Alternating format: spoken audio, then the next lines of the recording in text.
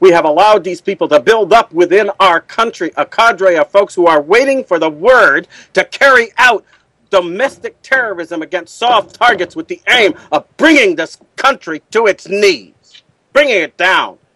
introducing it to disorder and chaos on a large scale.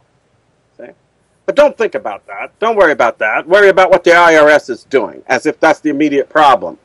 Not the fact that we're that we're being set up and that Benghazi was part of what would lead us to realize that the people we have placed in the White House could very well be working a strategy that collaborates with and comports with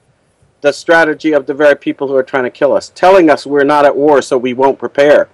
telling us that we're not being attacked in a way that is systematic and organized and intentionally aimed at destroying our way of life so that we won't react to it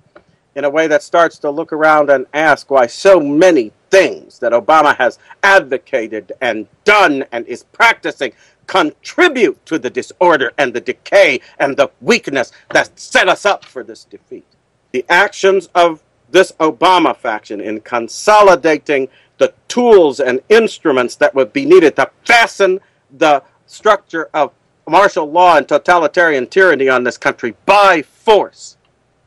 ought to be put together with the fact that we are now experiencing the implementation of a terrorist strategy